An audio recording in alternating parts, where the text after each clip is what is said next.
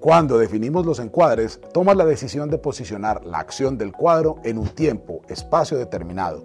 Tanto este espacio como este tiempo no solo son narrativos, sino que son significativos para comprender la pieza audiovisual. Cuando en una secuencia se muestra a un docente que sale eh, de un edificio de la universidad para otro edificio, podemos decidir mostrar la secuencia del recorrido completo solo si es dramáticamente pertinente si muestra algún elemento del carácter del personaje o si tiene valor estético. Si no cumple con ninguna de estas funciones, no es necesario mostrarlo. En este caso pasamos de la salida del docente de un edificio a la entrada a otro edificio. Ahí se construye la elipsis. Las elipsis aparecen para ayudarnos a pasar de un tiempo o lugar a otro. Algunas de estas elipsis son necesarias para avanzar la trama, pero otras más expresivas tienen un valor simbólico adicional.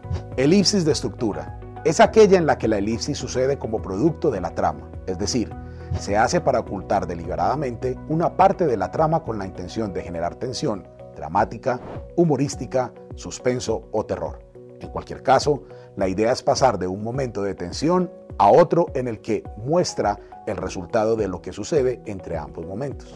Elipsis de contenido es cuando la elipsis se hace para ocultar algo que no se quiere mostrar, porque es muy grotesco u obsceno. En este caso, la elipsis obedece a una censura social. Las elipsis pueden resultar del diseño del encuadre o pueden ser de montaje. Son de encuadre cuando la cámara es la que genera la elipsis. A este proceso lo llamamos el fuera de campo. Y son de montaje cuando la cámara simplemente corta para mostrar algo posterior o anterior a la narración. Las elipsis, ya sean de montaje o fuera de campo, pueden ser estructurales o de contenido.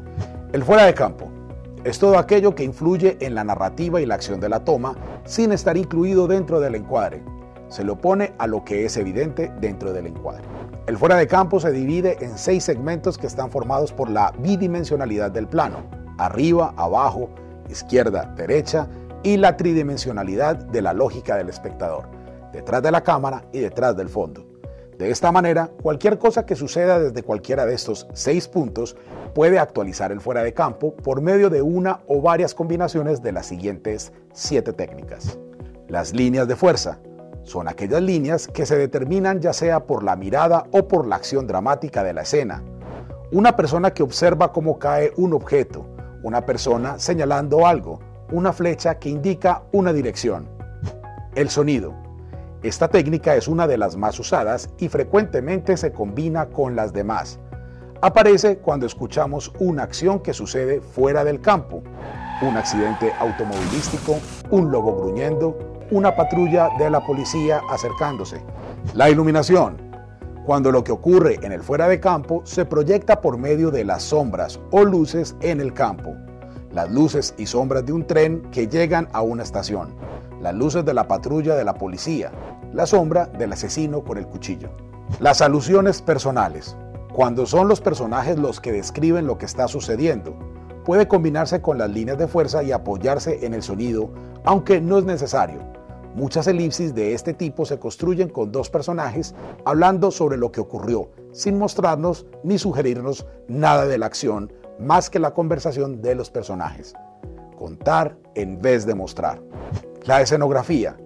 Hay tramas que justifican la presencia de objetos u otros personajes por medio del uso de aparatos o mecanismos, ya sea tecnológicos o mágicos, un radar, un sonar, un sistema de detección de movimiento, un dispositivo de rastreo, el GPS de un celular, el hechizo de detección de duendes, un detector de metales e incluso algo tan simple como una serie de hojas que crujen cuando son pisadas. Los reflejos. El fuera de campo se hace presente por medio del reflejo de un espejo, un cristal o cualquier superficie reflectiva. La imagen no tiene que ser precisa, puede ser deforme o borrosa, apenas lo suficiente para insinuar la presencia de algo. El espacio enmascarado es cuando lo que sucede está virtualmente dentro del campo, pero está enmascarado por algún elemento, tapado por una caja, una puerta, una pared.